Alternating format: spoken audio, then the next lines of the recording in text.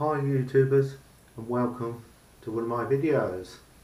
This is going to be to do with the Talbot Express Autosleeper and it's to do with problems of gear change.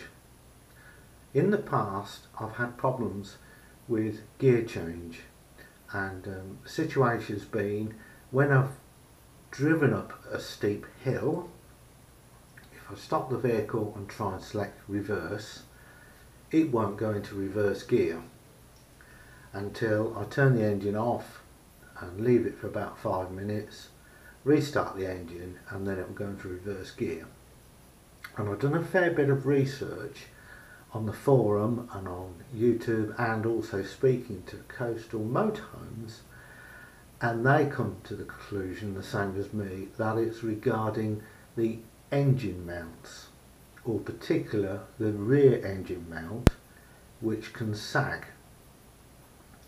So what I decided to do is buy a kit of or three engine mounts which is all of them in one go and it works out slightly cheaper and change them all. I gradually change them all and I've done videos of me changing them when I'd finished changing the engine mounts, I hit a problem. And the problem was that the engine itself was one inch higher, roughly 25 millimetre higher in the engine compartment. That gave the symptom as well as not having reverse gear, I didn't have fifth gear.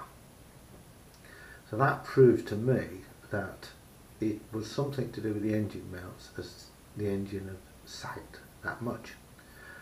So I decided to look at the linkage and to do that, um, to get at it easy, in my particular motorhome, Talbot Express, it's removing the spare wheel,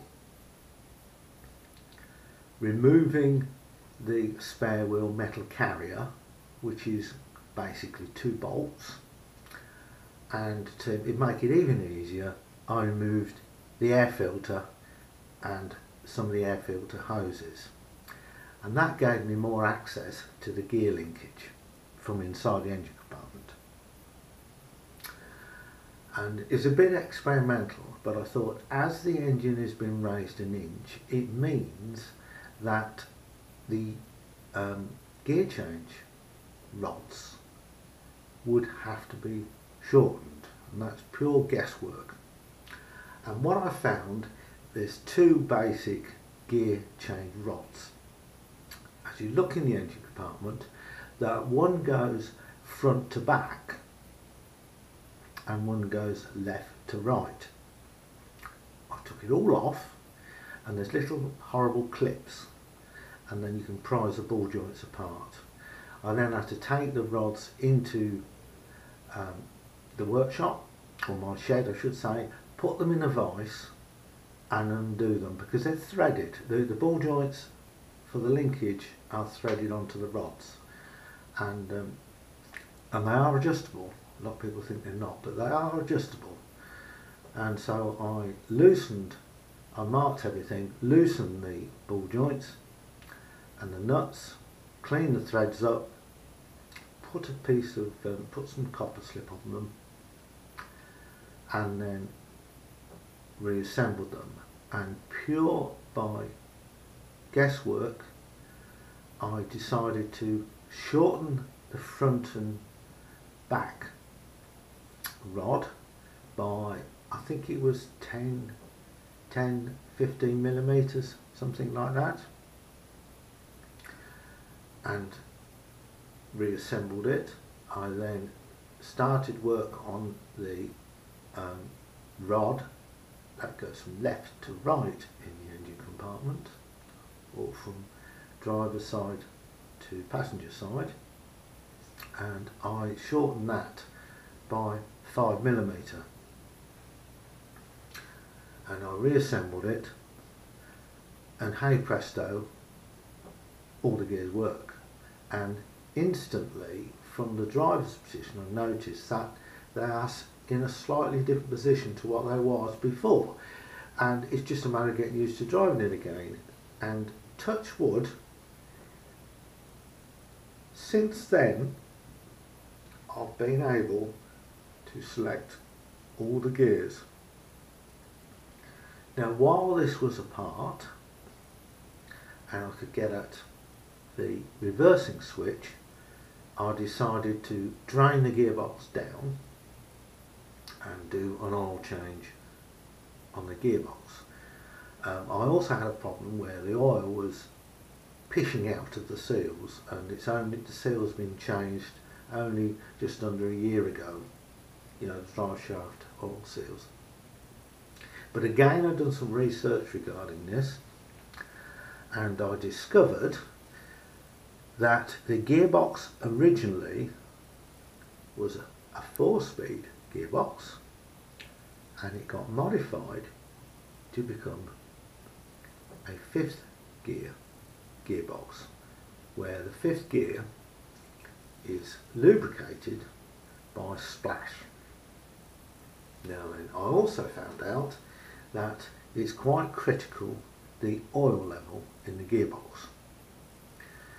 Now there's two drain plugs on the gearbox on, on the um, Talbot Express. One of them drains the differential. The other drain plug drains the gearbox.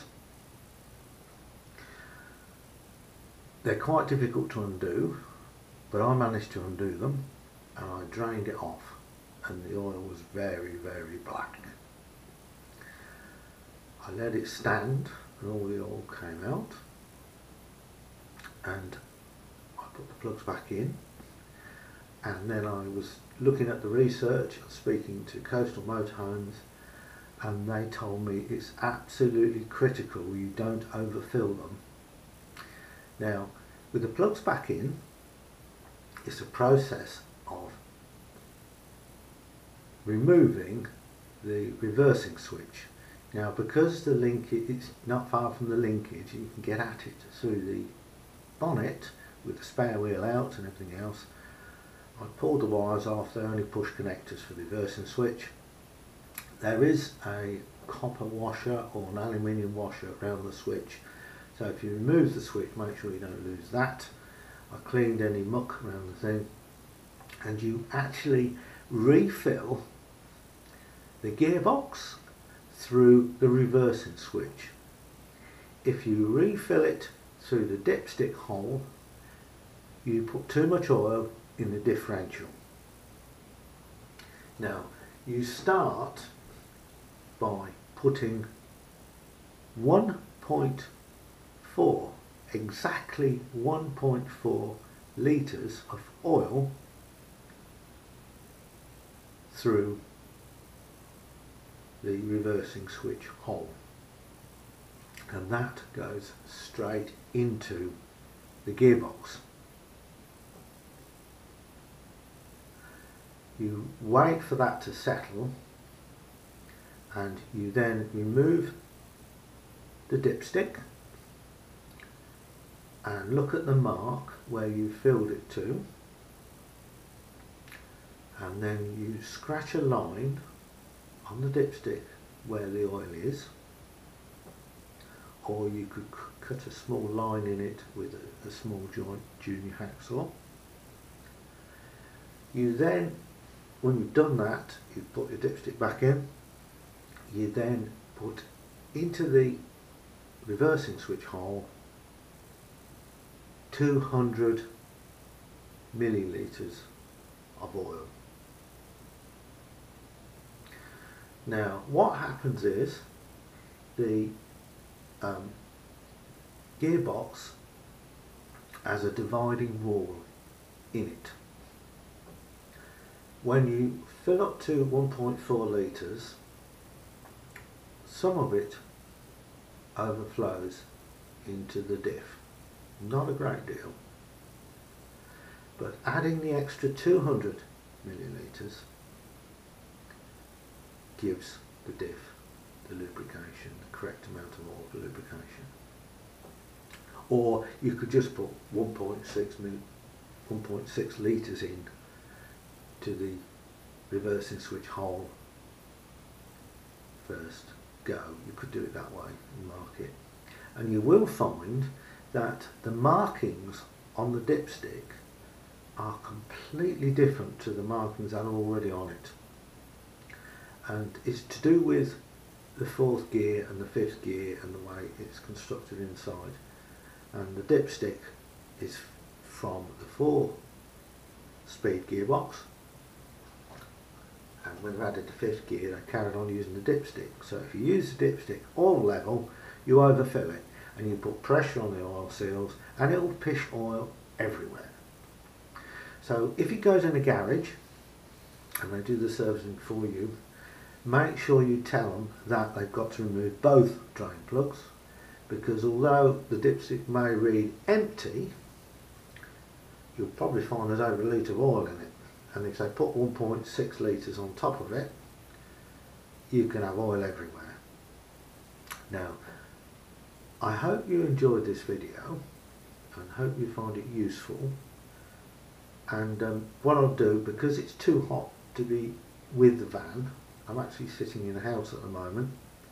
I've decided just to have some photographs rather than an actual moving video for you.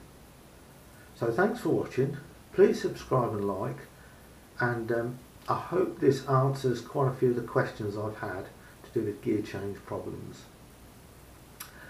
The gearbox collar does wear, by the way on the top. You can get a new collar and you can get new linkage which is more adjustable and all the rest of it but to be perfectly honest I don't know whether it's actually needed to do so. So once again thanks for watching please subscribe to my channel comments welcome and share basically. This might help a lot of other people out.